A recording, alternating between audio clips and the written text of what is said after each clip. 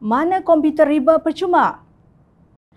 Nampaknya Menteri Kanan Pendidikan Datuk Muhammad Razim bin Majidin mula tidak senang duduk sejak pelaksanaan pengajaran dan pembelajaran di rumah PDPR yang diumumkan sejak PKP 3.0 dan bermula selepas Hari Raya Aidilfitri.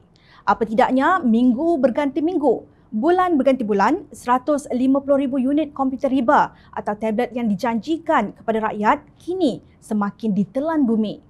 Justru Jawatan Kuasa Pendidikan Pakatan Harapan menggesa Kementerian Pendidikan Malaysia KPM untuk menyegerakan bantuan komputer riba seperti yang dijanjikan dalam Belanjawan 2021 kepada semua golongan secepat mungkin. Ia berikutan kenyataan rasmi pihak kementerian bahawa sekolah-sekolah ditutup selepas cuti Hari Raya Aidilfitri dan pelaksanaan semula pengajaran dan pembelajaran di rumah PDPR. Jawatan Kuasa Pendidikan Pakatan Harapan menggesa kerajaan menyegerakan bantuan komputer riba kepada murid yang memerlukan dan memberi insentif khas kepada guru bagi pelaksanaan pengajaran dan pembelajaran di rumah PDPR. Pengerusinya Mazli Malik berkata arahan melaksanakan PDPR adalah satu langkah wajar memandangkan situasi pandemik COVID-19 terus meningkat. Bagaimanapun katanya ia harus diiringi dengan bantuan kemudahan PDPR untuk murid maupun guru yang tidak mempunyai kelengkapan. Langkah ini bagi memastikan proses PDPR yang akan dilaksanakan memberi keberkesanan yang maksimum kepada semua murid dan guru.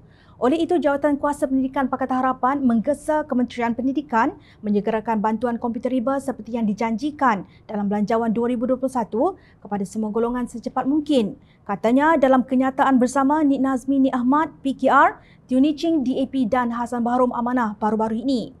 Dalam pada itu, wakil rakyat pembangkang itu menyeru guru, murid dan ibu bapa yang memerlukan bahan pembelajaran supaya memanfaatkan platform Sofia.my sebagai antara alternatif sepanjang PDPR nanti. Dan terkini, UMNO mempersoalkan di mana pemberian komputer riba percuma selepas hampir enam bulan perkara itu berlalu. Ahli Majlis Kerja Tertinggi UMNO Datuk Muhammad Razlan Rafi berkata ini kerana beliau difahamkan dana telah dikutip daripada syarikat berkaitan kerajaan GLC dan badan korporat kepada kerajaan untuk menguruskan pemberian komputer riba kepada anak-anak rakyat Malaysia yang memerlukan. Mula-mula berjanji akan diedarkan pada bulan Februari. Tunggu punya tunggu, puasa sudah, raya pun sudah. Duit sudah ada, cuma proses pembelian sahaja dan pengurusan penghantaran tidak kunjung tiba. Kita pun tak tahu di mana silapnya. Susahkah nak beli komputer riba? Ada banyak jenama dan banyak kilang. Kalau tak boleh beli semua dalam satu jenama, beli pelbagai jenama. Perkara sangat mudah namun gagal dilakukan dengan mudah. Katanya dalam satu kenyataan. Beliau berkata apabila rakyat membuat tanda pagar kerajaan gagal, sepatutnya mereka melihat perkara berkenaan sebagai positif dan tingkatkan usaha memperbaiki namun kegagalan ini amat ketara. Kementerian Pendidikan berjanji akan menambah TV pendidikan dengan pelbagai silibus setelah diumum dibiarkan begitu sahaja. Bahan video tidak berkualiti dan tidak cukup untuk memberi ilmu kepada anak-anak. Ia dibuat sekadar melepas batuk di tangga. Bukan saja pelajaran Malaysia, SPM sahaja yang perlu mengulang kaji.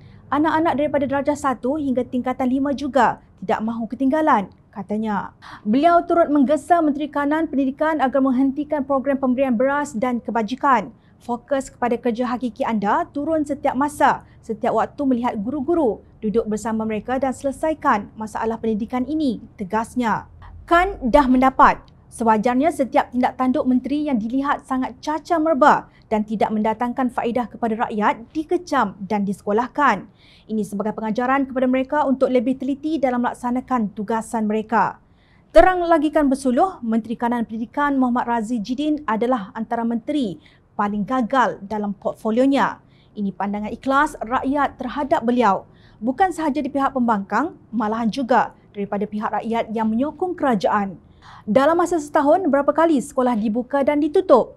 Berapa banyak wang ibu bapa menghabiskan wang mereka yang sepatutnya digunakan untuk meneruskan hidup, digunakan untuk menyediakan kelengkapan sekolah anak-anak. Kemudian, sekolah ditutup.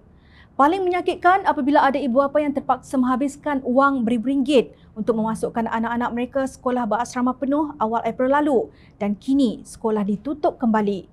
Kalau tak pandai nak buat kerja menteri, berhenti, berundur, serahkan kepada yang jauh lebih layak daripada anda, wahai Pak Menteri. Ingatkan bersekongkol dengan Muhyiddin hancurkan kerajaan Pakatan Harapan, kononnya nak menyelamatkan Malaysia.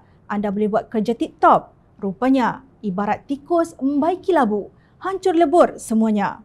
Soalan jom channel untuk YB. Mana komputer riba yang YB janjikan?